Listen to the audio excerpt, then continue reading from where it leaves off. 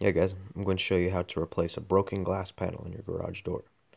I've already removed the broken glass here and I'm using an automotive clip picking tool, but you can use anything firm and slim to pry open this side trim. In a second here I'll show you how this trim is designed to fit onto the internal piece and how you can put it back together. So looking at this expertly prepared diagram, you'll see that there's these little teeth or grooves inside of that trim piece and that's what latches on to that internal section that you just pried off. So just kind of like work your way from one side and work work your way all the way down to the bottom and uh, you should come off pretty easy.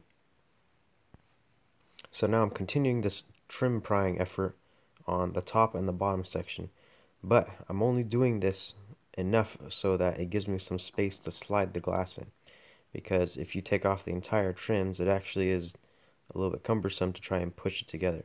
You may even need a second person to push on the opposite end of the garage to, to get it to latch on. So it's easier this way.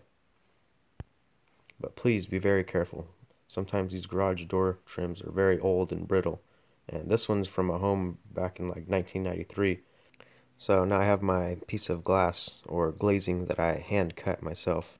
I'll provide some links below to some little uh, kits they can use to prepare this. But uh, when you're inserting this, it, it, really helps to put a little bit of oil or something on the edges so that it'll slide through cleanly because it otherwise will catch on the plastic and be hard to, to push through. I ran into the complication earlier that I didn't clean up enough of the little debris from the broken glass.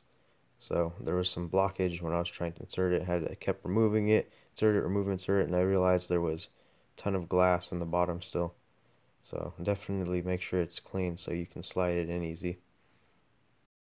My phone memory card actually maxed out shortly after this, so I couldn't actually get the full product or the full result.